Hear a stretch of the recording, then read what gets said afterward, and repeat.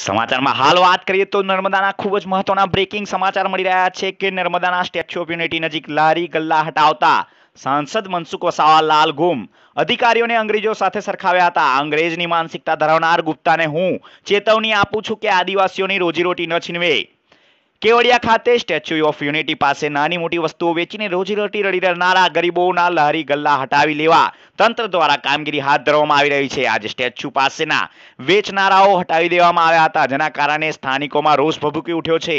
સ્થાનિકોનું કહેવું છે કે કોઈ પણ લેખિતમાં નોટિસ આપવામાં આવી નથી, પરંતુ માત્ર મૌખિક કહેવાતા ત્યારે ભરૂચના સાંસદ મનસુખ વસાવામાં પણ આ અંગે કેવડિયાની મુલાકાતે આવી ગયા હતા. તેમણે પણ મીડિયા સાથેની વાતચીતમાં તંત્ર સામે પોતાનો રોષ વ્યક્ત કર્યો હતો. અંગ્રેજોની માનસિકતા ધરાવતા અધિકારીઓને ચેતવણી આપી હતી. અમારા સંવાદદાતા પરેશ બારિયાનું કહેવું છે કે આજ રોજ કેવડિયા ખાતે સ્ટેચ્યુ ઓફ યુનિટી પાસે નાની મોટી વસ્તુઓને વેચીને રોજીરોટી રડી રહેનારા ગરીબો પરિવારને લારી ગલ્લા હટાવી લેવામાં તંત્ર દ્વારા કામગીરી હાથ ધરવામાં આવી હતી. નર્મદાથી Paresh બારિયાનો special report Padra twenty four. આમાં સ્ટેચ્યુ ઓફ યુનિટી પ્રોજેક્ટ બની રહ્યો છે, એના આસપાસના ગામો તથા રોડ સાઈડ પર પાંચ છ વર્ષથી આદિવાસીઓ, ગરીબ લોકો પોતાનું જીવન નિર્વાહ ચાલે અને સ્ટેચ્યુ સ્ટેચ્યુ યુનિટીમાં જે પ્રવાસીઓ આવે છે, એને જીવન જરૂરી ચીજ વસ્તુનું વેચાણ કરતા હતા. ખારી સિંગ, ચણા, વેફર ઠંડા પીણા પાણીના પાઉચ, મકાઈ, આ જેવું પ્રવાસીઓને અનુકૂળ હોય, જે જરૂરી એવી બધી વસ્તુઓનું એ વેચાણ કરતા હતા અને પોતાના રોજીરોટીનો એ નિર્વાહ કરતા હતા.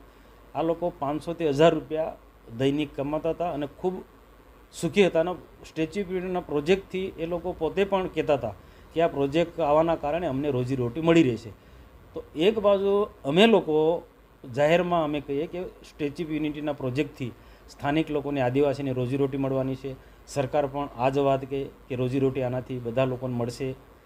તો એક બાજુ અમે અને સરકાર ગરીબ આદિવાસીને રોજીરોટી આપવાની વાત કરતા હોય અને બીજી બાજુ અહીંના અધિકારી, એમડી ગુપ્તા એ આદિવાસી કે ગરીબોની જે રોજીરોટી મેળવતા હતા, એવા લોકોના ગલ્લાઓ છે, કેબિનો છે, કોઈક પણ જાતના વૈકલ્પિક વ્યવસ્થા કર્યા વગર બધા તોડી નાખ્યા.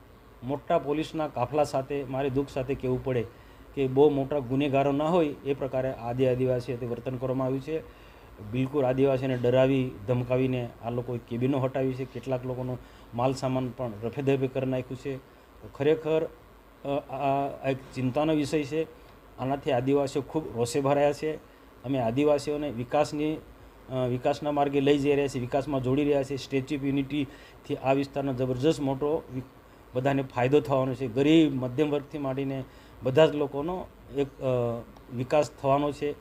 એ એંગલથી અમે લોકોમાં એક પ્રચાર કરી રહ્યા છે. તો આવા એક અંગ્રેજની માનસિકતા ધરાવનાર અધિકારી ગુપ્તા જેવા લોકો આ વર્તન કરશે, તો એ કોઈ પણ સંજોગોમાં આ વિસ્તારના આદિવાસીઓ એ ચલાવી નહીં લે, સાંકી નહીં લે.